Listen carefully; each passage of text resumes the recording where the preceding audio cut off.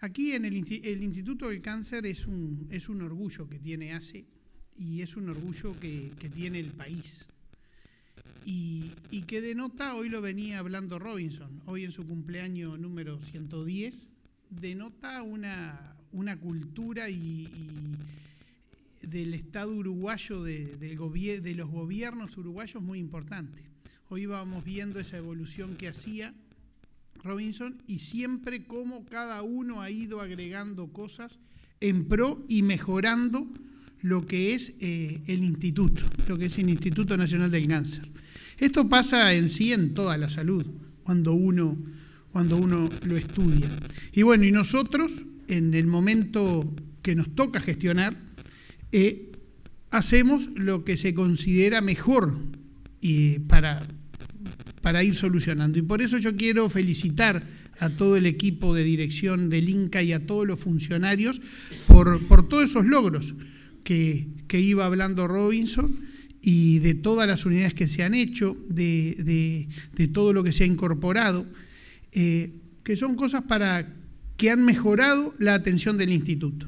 Y que es lo bueno que el que va a venir después va a crear otras cosas y esto va a ir quedando, o sea que siempre vamos a ir en una mejora continua. ¿En qué? Para nuestros pacientes. ACE tiene que girar y toda la organización de lo que es la salud es en torno al paciente.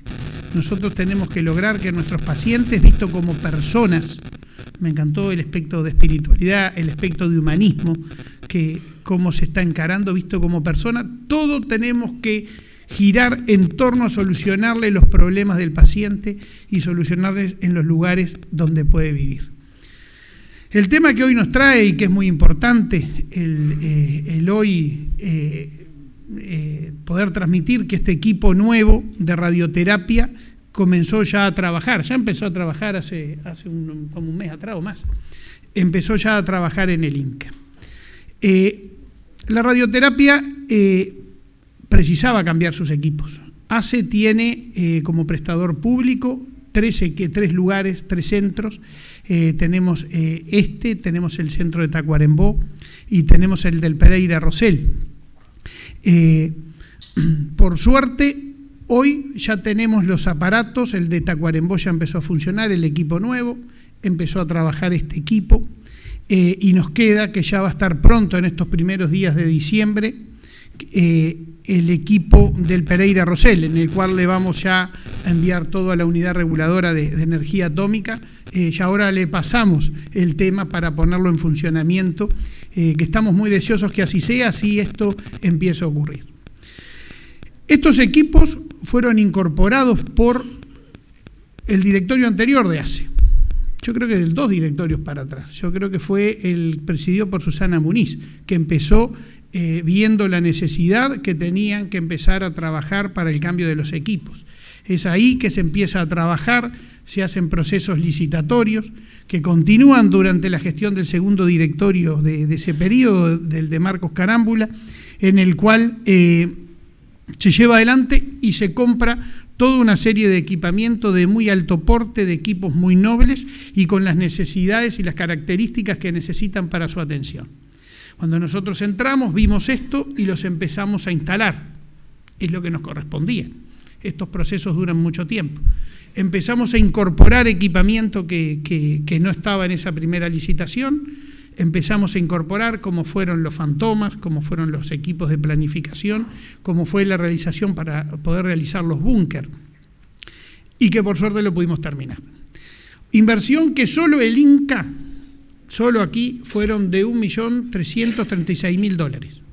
Todavía no tengo la cifra exacta para lo que ha sido Tacuarembó y lo que ha sido el Pereira Rosell.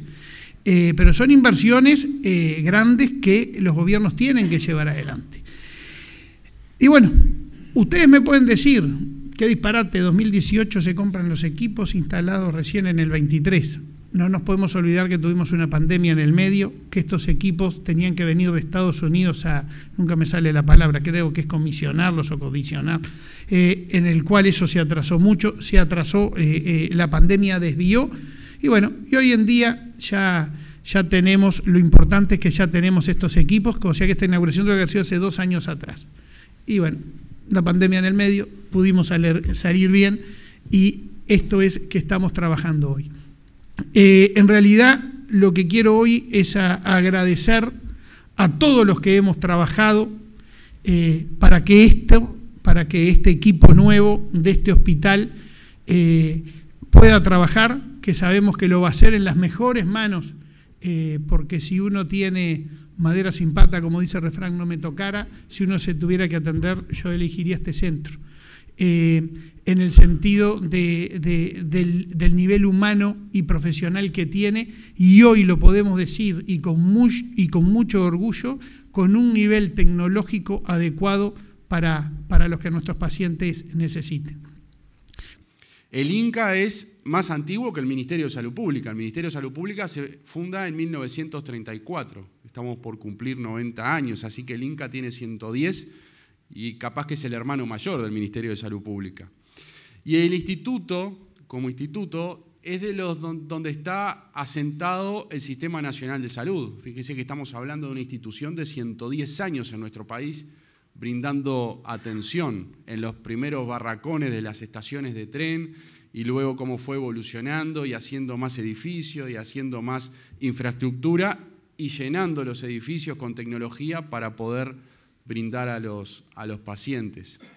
A veces es injusto cuando nombramos a, personas que fueron muy especiales para el instituto. Obviamente el, doctor Frangela, que hacía referencia a Robinson, el doctor La Salvia, por todo lo que fue la investigación clínica y cambiar un poco el paradigma hacia lo policlínico, hacia la atención de, policlínica. El doctor Luongo en, estos años más cerca de la, de la actualidad. Obviamente el doctor Tabaré Vázquez como jefe de radioterapia también en el instituto, el doctor Pedro Kasdorf, que está, presente. Y bueno, seríamos injustos si, nombráramos a todos, porque como decía Leonardo, el Inca ha sido una construcción continua. Tenemos 110 años de avances. Capaz que podemos tener algún matiz, porque todos quienes estuvieron aquí siempre con las mejores intenciones de avanzar y eh, eligiendo los, los distintos caminos. Pero si hay algo que debemos reconocer es que en 110 años se ha avanzado hacia el instituto que, tenemos hoy. Un instituto que, eh, como decía, los edificios, los ladrillos están, pero lo más importante es la gente. Lo más importante son los que trabajan todos los días atendiendo a pacientes, asistiendo a pacientes, acompañando a pacientes, a personas que están pasando por un momento que no es el más feliz. Es un momento complejo, un momento de incertidumbre, un momento de angustia. Y es tan importante la atención como el acompañamiento, como el estar al lado, como el tomar la mano, como el estar, el estar cerca. Así que el reconocimiento del Ministerio de Salud Pública es a la dirección, es a la institución, pero sobre todo a los trabajadores, a los médicos y a los no médicos los médicos que tienen el conocimiento y admiramos por la capacidad técnica, pero a los no médicos que hacen posible también el funcionamiento, a los que acompañan, a los que están cerca y a los que todos los días están poniéndole el hombro para que las personas que vienen estén un poquito mejor y puedan salir de, esa situación. El cáncer es la segunda causa de muerte en nuestro país, la primera en menores de, de 70 años y han evolucionado tratamientos, tecnología, hemos incorporado más medicamentos, hemos traído mejores eh, equipamientos, mejores aceleradores. Eh, Leonardo después de acá va al Pereira, a Maldonado, a distintos lugares para mejorar la atención en, todo el país. Pero hay algo que es insustituible, que es ese afecto que, que se da. En este lugar que tiene una atención holística, que hace desde prevención con estudios de screening, atención policlínica y luego atención de, tratamiento y acompañamiento hasta el final, como el convenio con, la Fundación Manuel Calleja para estar eh, acompañado en los momentos finales. Para finalizar, no, ser más extenso, porque de verdad que hoy es un día que tenemos que celebrar en conjunto, los que nos toca estar acá, coyunturalmente, los que pasaron y los que vendrán, todos con la misma obligación y responsabilidad de trabajar para la gente que viene todos los días al Inca.